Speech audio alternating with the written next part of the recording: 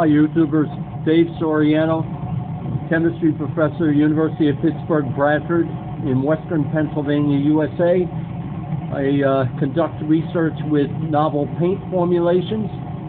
I just started a reaction here, and this will be an esterification between castor oil and a product derived from it, sebacic acid, a long chain aliphatic straight chain dicarboxylic acid.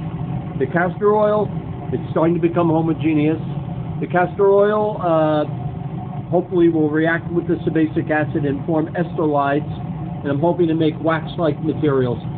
I have a small amount of para-toluene sulfonic acid catalyst. I'm bringing it up to 150, 160 degrees for about two, three hours. We'll see if it's any good. I'll keep you posted. Bye for now. Thanks for watching, guys.